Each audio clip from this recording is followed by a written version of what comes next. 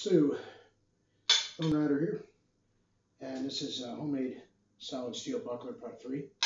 I still have the temporary handle on there, and I still haven't done any more dishing on the boss, but what I did do is I did do a preliminary trim on the edges. So it's about where it's going to be, give or take a few millimeters uh, to even this out. Uh, I did this with a hacksaw, so it's kind of rough. And I thought I'd just grind out the details to even it on my uh, bench grinder. But the bench grinder wheel, I had forgotten, was nearly worn down to the nub. So it's going to have to stay like this for now. But um, it is 10 inches across, which is kind of what I was shooting for, 9 or 10. So uh, it's a you know, it's a small size buckler.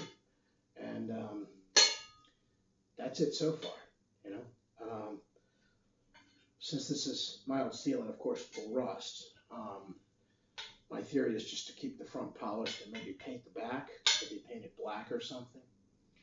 Um, or if I decide not to try and roll the edge, and I decide simply to reinforce the edge, maybe cover the back with leather or vinyl or something, and then have it roll over to give it more of an edge.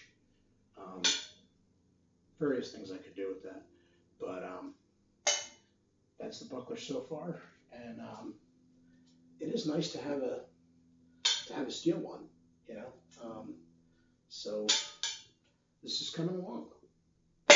Lone Rider out.